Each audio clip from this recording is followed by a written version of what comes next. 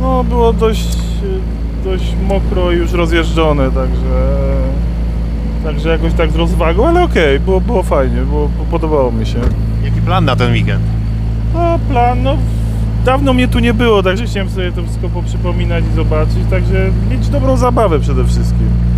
Zapowiada się różna pogoda, ale mam nadzieję, że odcinki przetrwają i, i, i będą dobrze przygotowane.